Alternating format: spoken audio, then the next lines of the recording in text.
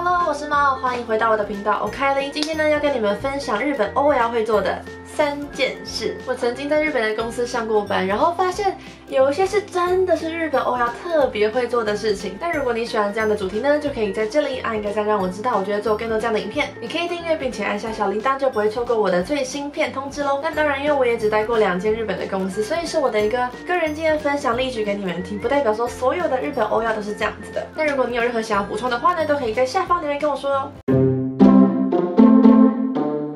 第一，本的欧亚会自己带便当上班，真的只要一到午休时间呢欧亚们就会到休息室拿出便当享用他们的午餐。那你可能会想说，男生呢，在日本女生做内勤的比较多，男生通常是出去跑业务，所以除了刚上班或者是下班前，你是不会看到他们的。那别的地方我是不太知道，台湾的话呢，我知道很多人就是喜欢中午叫便当，几个好朋友凑起来去点外卖这样子。我一直都觉得会自己带便当的欧亚们很可爱，就是很贤惠的感觉。就问他们，哎，为什么你们都自己带便当啊？结果他们的回答是这样子的：节约のため。第二，日本 OL 的背包里面通常都会有软糖，日文叫做谷米。我自己是没有这个习惯，可是很常办公室的一些姐姐们呢，就会问我说：“猫讲，谷米る？”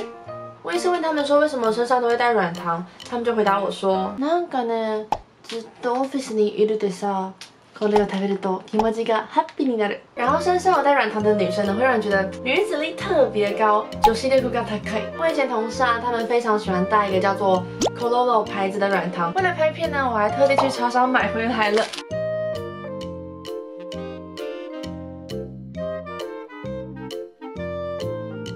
就是这个，这是他们家的经典口味，它是长这样子的，啊，好香哦！什么？ 超可爱！葡萄的果实不是有一层皮，然后里面是果肉吗？它就是用那个胶原膜当做皮，然后里面包那个软糖本身，就会感觉很像在吃真的葡萄的口感，有没有？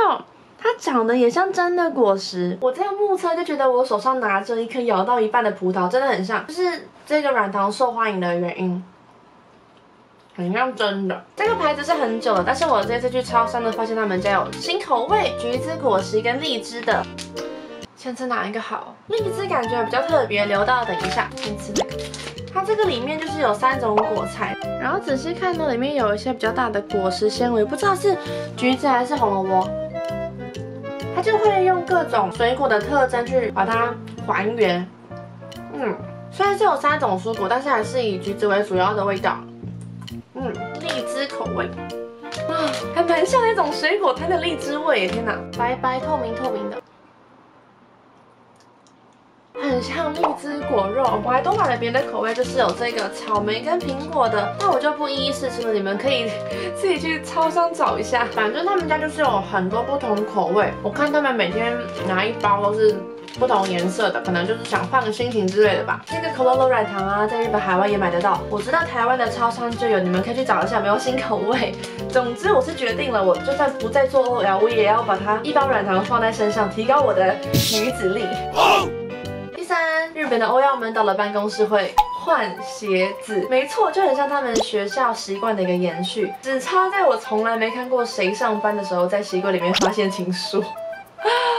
我是蛮想收到一下的。那原因呢也很简单，因为鞋柜不是一人一个，我们是共用一个大鞋柜。还蛮多人都是踩高跟鞋抠抠抠上班，然后到办公室后，因为做内勤嘛，不太会碰到可能呃外来的人，就会想说在办公室就穿舒服一点的平底鞋。我还看过穿拖鞋的，但是是漂亮的拖鞋，而且一定会穿袜子，绝对要穿袜子。然后下班的时候呢，再换回美美的高跟鞋，抠抠抠走回家。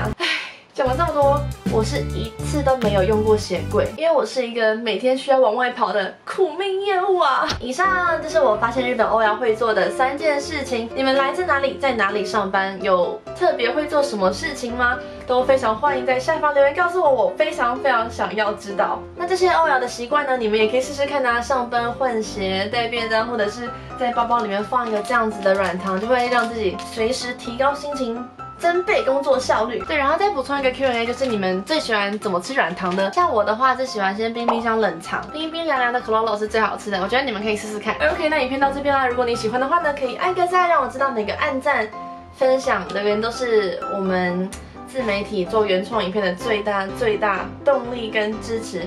谢谢你们的每一个分享跟按赞留言。更重要的，如果你想要看到更多我的影片，就可以按下订阅，并且按小铃铛，这样就不会错过我的最新影片通知喽。那我们下一集很快见啦，拜拜。